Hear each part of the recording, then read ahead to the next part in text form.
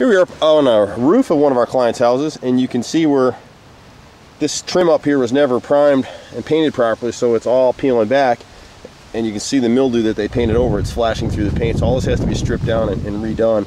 We have HardiePlank siding um, and we're actually doing this one to show the customer because otherwise they don't know you know they're blindly believing whatever we're telling them needs to be done. They got HardiePlank siding which is great.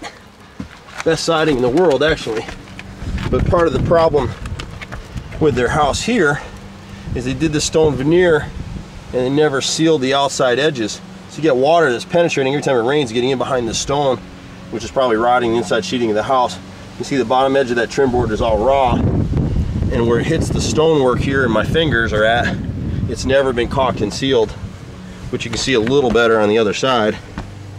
Let me try and get down here without killing myself and and ending my film career at Handy Andy. Slide down the roof here. And people always think their gutters are nice and clean because they can't see it but you can see all the debris down there is clogging that gutter. It looks clean from the street and she just paid somebody to clean these not too long ago. We've primed and and caulked this window that was never caulked what we're looking at here is in the stonework. Some of the mortar has chipped out along this window line so whenever it rains the water's getting in there. And we don't have mortar here with us today to fill these voids. So we just wanted to show the customer that as you come on down here's another one. So inside this window cavity this should all be sealed. The outside veneer is not a problem except on the corners. And then you can see around this corner right here. Again it's all the stuff on a house you never look for but look for the black. You see that shadow line up and down on that corner board right there?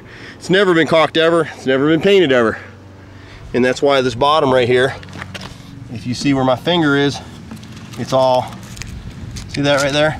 It's all soft and rotted out because it's catching the water. So there you have another project at Handy Andy and we'll be fixing this one sometime soon. Bye bye now